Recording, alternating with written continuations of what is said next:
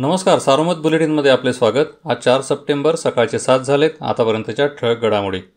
बेलापूर गावातील राजकीय धुमश्चक्री चर्चेचा विषय ठरली. स्थानिक राजकारणात कट्टर विरोधक असलेले जिल्हा परिषद सदस्य शरद नवले आणि बाजार समिती संचालक सुधीर नवले यांच्यात ग्रामपंचायत कार्यालयात एकमेकांना जाब विचारण्यावरून जोरदार खडाजंगी झाली. ही माहिती बाहेर समजताच त्यांच्या समर्थक गटात दोन वेळा लाठ्या काठ्यांनी हाणामारी झाली. यात चार जण जखमी झाले. ही घटना बेलापूर पोलीस चौकीसमोर घडली. मात्र कोणीही फिर्याद न दिल्याने पोलिसांनीच दोन्ही नवलेंसह एकूण चार जणांवर प्रतिबंधात्मक कारवाई केली. राहुरी शहरात स्टेशन रोड ते वाघाचा आखाडा या दरम्यान बँकेच्या दोन कर्मचाऱ्यांना एटीएमसाठी पैसे घेऊन जात असताना अज्ञात लुटारूंनी लुटले. भर दिवसात तीन लाख रुपये लुटीच्या या घटनेने खळबळ उडाली. टाकळी मिया येथील एटीएममध्ये टाकण्यासाठी हे कर्मचारी पैसे घेऊन जात होते. मागून विना नंबरच्या मोटरसायकलवरून आलेल्या तीन इसमांनी दुचाकीवरील दोन कर्मचाऱ्यांना लाथेने धक्का देऊन खाली पाडले.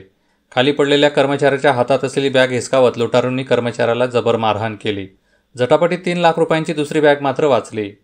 दारणा पानलोटातील घोटी इगतपूर येथे काल तासभर मुसळधार पाऊस झाला. गंगापूर पानलोटात पावसाची विश्रांती होती. दारणाचा विसर्ग एक हजार तीनशे पन्नास गोदावरीतील विसर्ग दोन हजार चारशे एकवीस तर कडवातून दोनशे बारा क्युसेक विसर्ग आहे.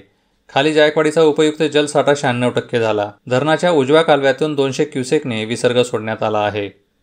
जिल्हा शिक्षक पुरस्कारासाठी शिक्षण विभागाच्या अधिकाऱ्यांनी पडताळणी करून अंतिम केलेल्या नावांवर शिक्कामोर्तब करण्यात आले आहे. विभागीय आयुक्तांकडे अंतिम मान्यतेसाठी यादी पाठविण्यात आली. आज पुरस्कारांची घोषणा होणार आहे. नगर मनमाड मार्गावर वेळत घाटाजवळ श्रीरामपूर नगर ही बस गुरुवारी सायंकाळी साडेसहाच्या सुमारास महामार्ग सोडून अचानक दीडशे फुटांवर असलेल्या घरात घुसली. चालकाचे नियंत्रण सुटल्याने हा अपघात घडला. दहा ते बारा प्रवासी किरकोळ जखमी झाले. नगर बाजार समितीत कांद्याला चांगला भाव मिळत आहे. गुरुवारी झालेल्या लिलावात दीड हजार ते दोन हजार दोनशे रुपयांचा दर मिळाला.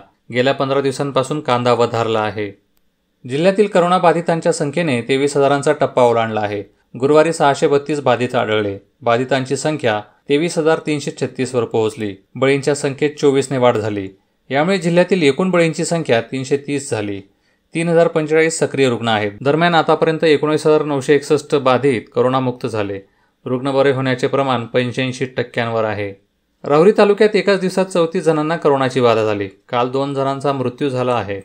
त्यामुळे तालुक्यातील करोनाबाधितांची एकूण संख्या चारशे बेचाळीस तर बळींची एकूण संख्या अठरा झाली आहे. श्रीरामपूर तालुक्यात चौतीस जण करोनाबाधित आढळले. एकतीस रुग्णांनी करोनावर मात केल्याने त्यांना घरी पाठविण्यात आले. राहता तालुक्यात दिवसभरात एकसष्ट बाधित आढळले. त्यातील सर्वाधिक वीस बाधित शिर्डीत तर पंधरा बाधित लोणीतील आहेत. कोपरगाव तालुक्यात काल दिवसभरात एकूण पंचवीस जण करोनाबाधित आढळले.